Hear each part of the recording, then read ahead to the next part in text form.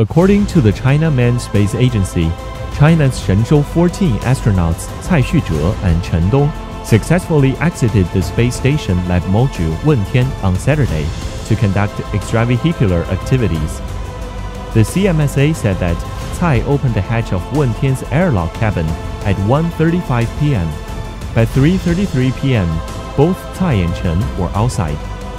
This is the second time that Shenzhou 14 astronauts have conducted extravehicular activities and the first time for Cai. With the aid of the small mechanical arm, the pair will conduct a series of extravehicular tasks, including the installation of extravehicular assistance handles and the extended pump set of the load circuits. They will also verify the extravehicular rescue capability. During the extravehicular activities, astronaut Liu Yang was inside the core module supporting her crewmates.